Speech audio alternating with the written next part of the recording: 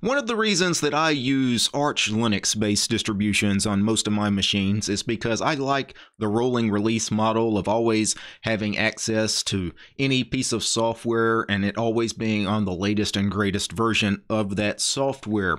And, this is one of the reasons why I prefer things like Arch Linux, for example, over really stable distributions like Debian Stable or LTS distributions, long term support distributions like Ubuntu LTS, because those distributions are designed for stability. Their packages are typically a little older. Their repositories contain older software. In some cases, their repositories don't have programs at all that are already available on Arch Linux. For example, on Arch Linux, I can install Qtile, which is one of my favorite tiling window managers.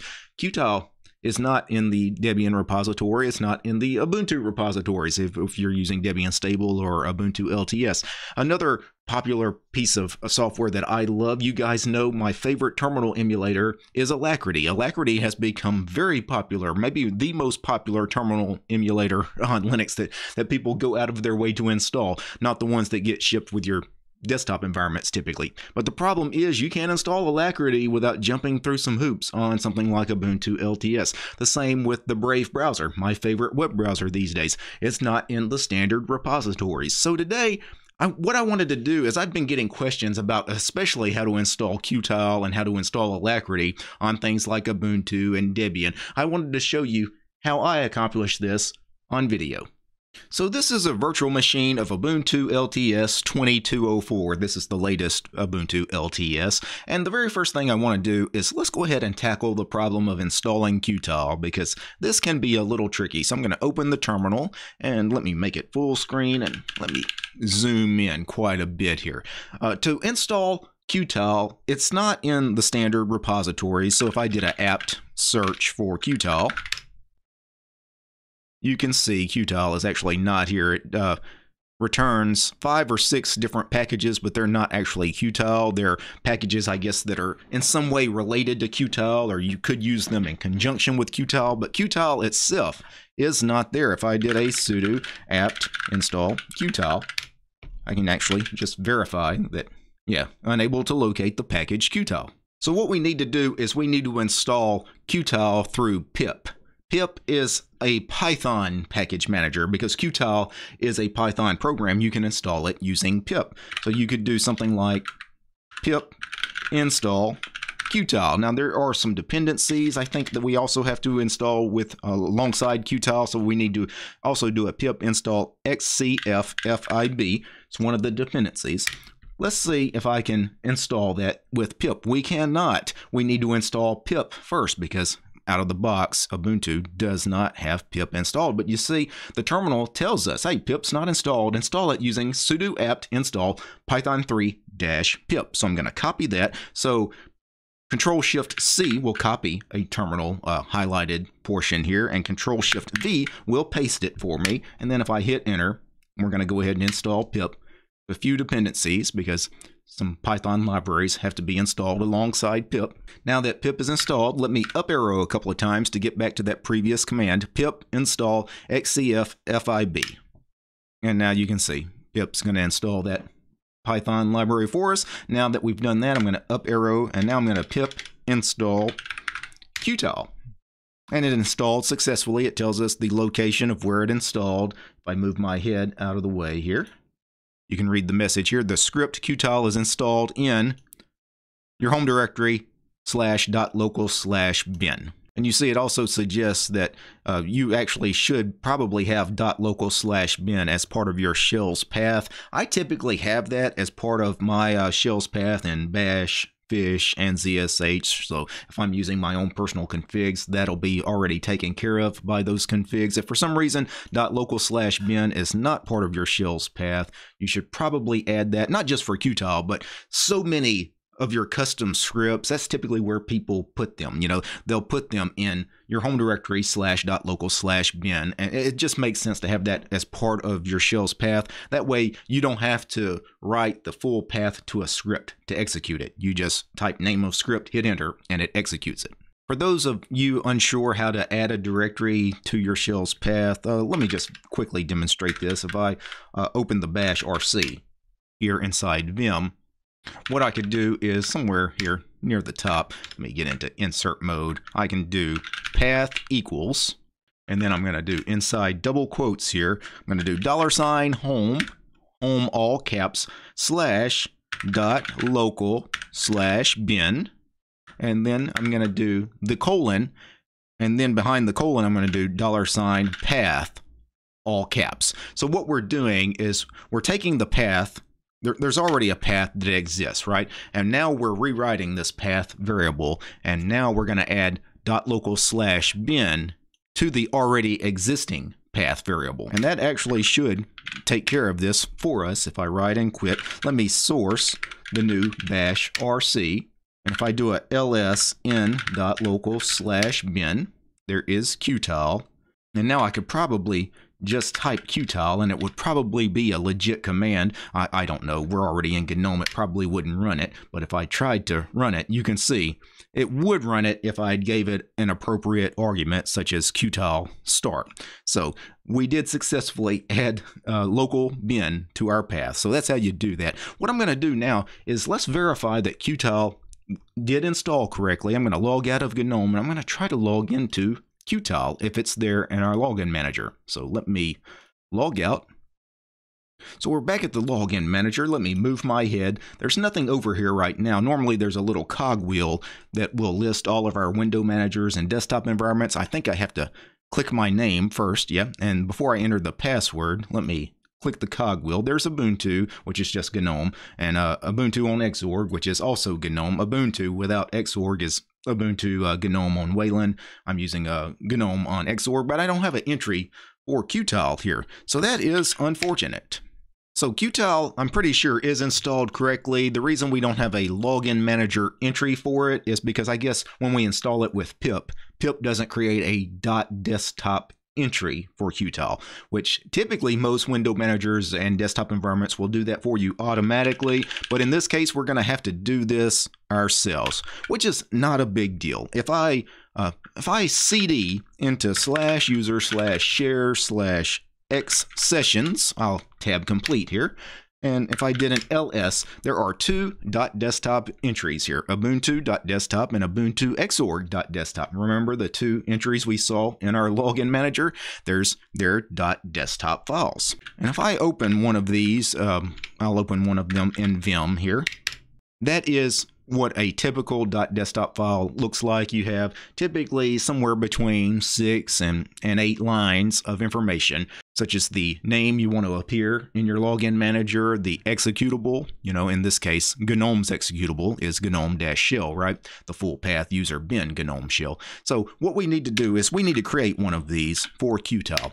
And that probably sounds hard, but it's not. I'm going to uh, sudo cp, so copy ubuntu.desktop, and we're going to copy it over to qtile.desktop.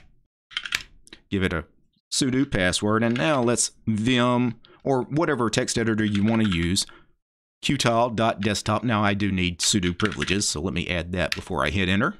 And now all I need to do is just go in here and change the appropriate values. So I'll do uh, qtile here.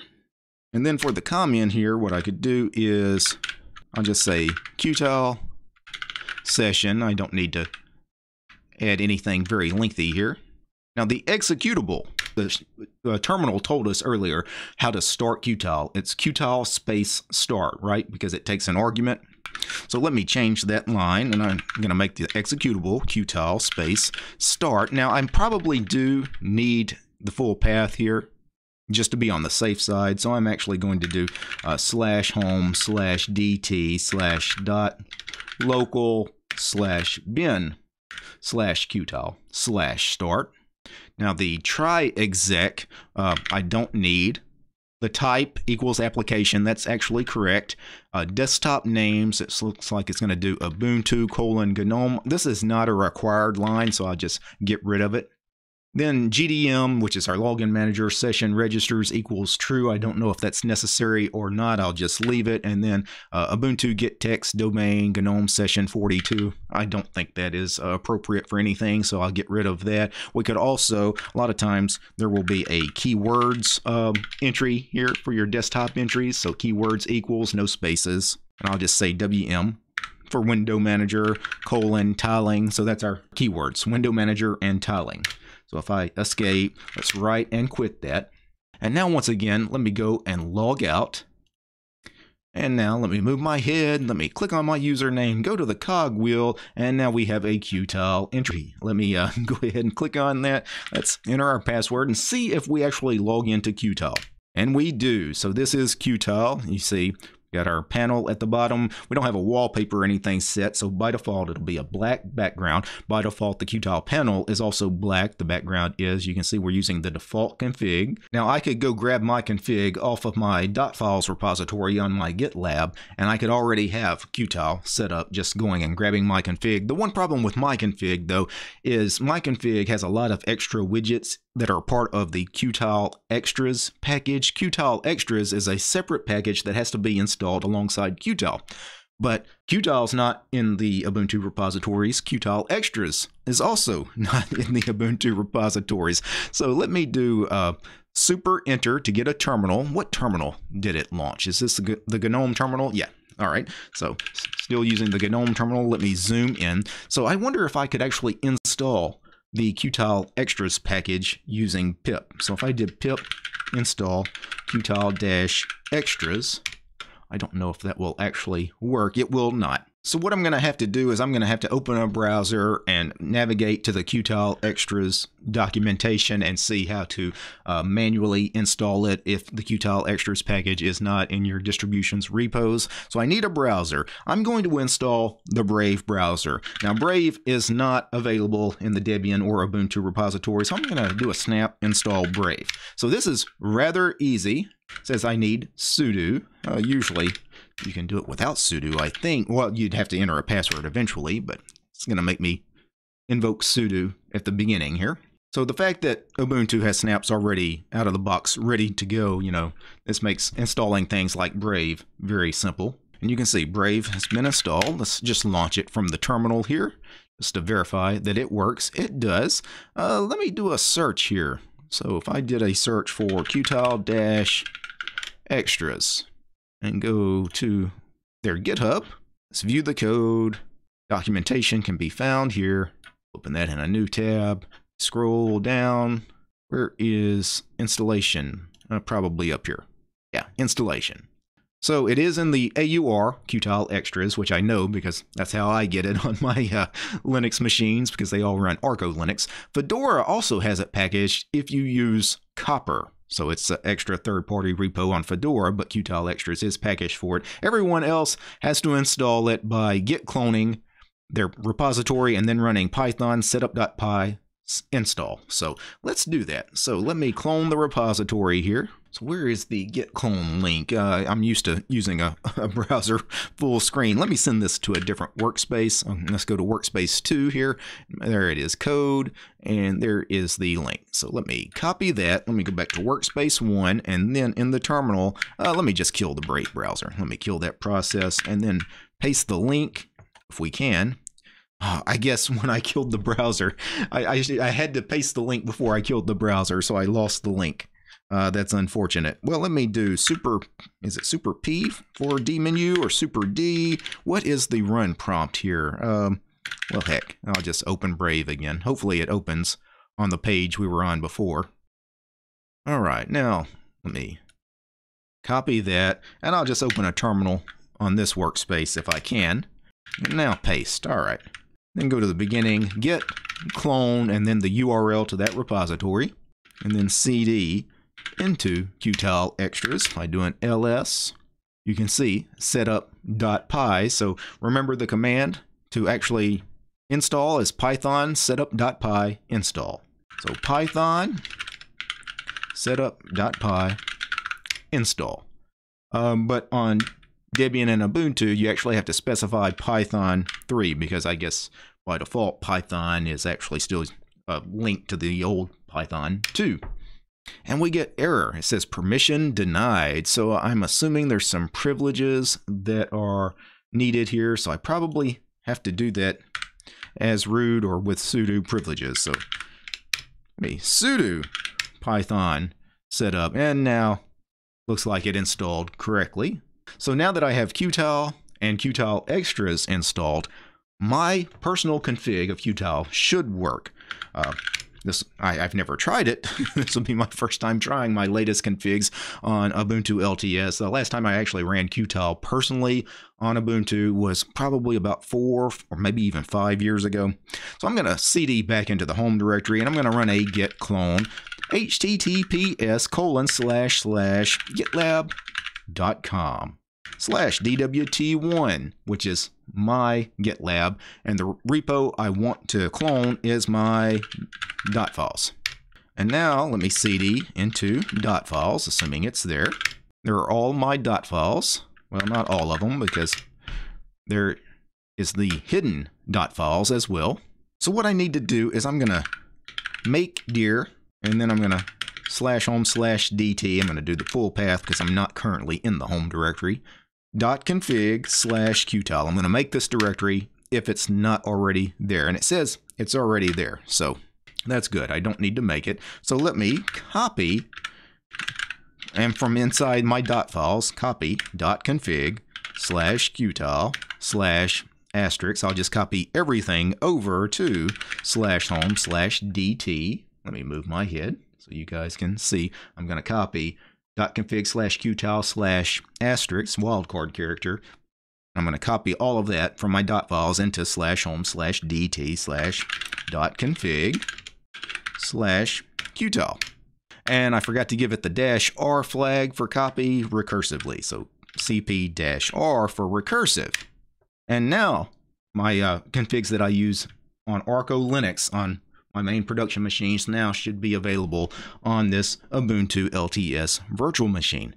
Let's see if I can kill Qtile and log back in and actually have my config working. Actually, my config depends on the Alacritty terminal. Let's install Alacritty before doing anything else. So let me go to a new workspace, launch a new terminal, just so I can have a full screen terminal. Now, Alacritty is another package that frustrates Ubuntu and Debian users. It's not available in the standard repositories, and it's also not available as a snap package, oddly enough. I don't know why no one has packaged Alacritty as a snap. So your uh, only options are to build Alacritty from source, kind of like we, you know, it, it would do something like a pip install for Qtile. We could do a cargo build of Alacritty. The problem is it's got to compile. Rust is a compiled language, and Alacritty, it takes a while to compile, and it's not necessarily something anybody really wants to do, right? But there is a PPA for Alacritty that just installs a binary build of Alacritty. So let's add the PPA. So I'm going to do a sudo apt dash repository space PPA colon, and then it's going to be and that's with T's, A S L A T T E R slash PPA space, and then dash Y for yes, because it's going to ask us a yes or no question. It says apt repository command not found. Of course, let me up arrow.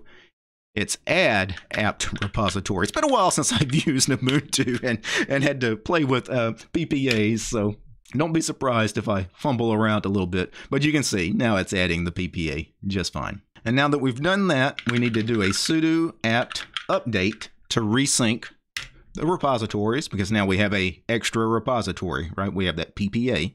We want to be able to sync the repositories now. And now if I do a sudo apt install Alacritty, it should be available.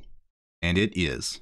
All right, now I want to kill Qtile and log back in and see if Qtile uses my configs. And if it does use my configs, uh, super enter should launch the Alacritty terminal for us. So to kill Qtile, uh, I'm assuming uh, super shift Q, no, super shift X, super X, super Q I forget the command, but you can always do this from a terminal. Kill all Qtile.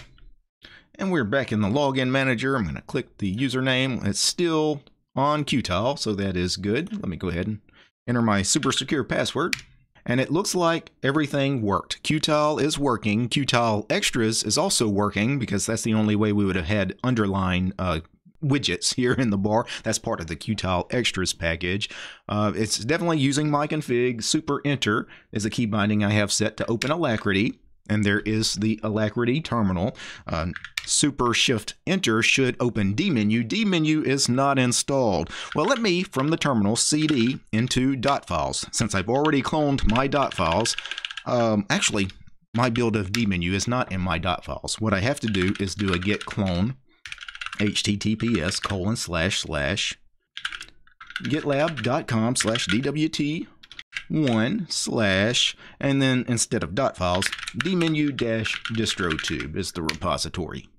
Now cd into dmenu dash distrotube if i do an ls there are all the source code files right? And then i just need to do a simple sudo make install says compilation terminated. I forgot about this problem. When you're uh, building some of these suckless packages, there's actually a lot of dependency issues. So there's a lot of dependencies we have to install. So let me clear the screen here. I'm going to do a sudo apt install.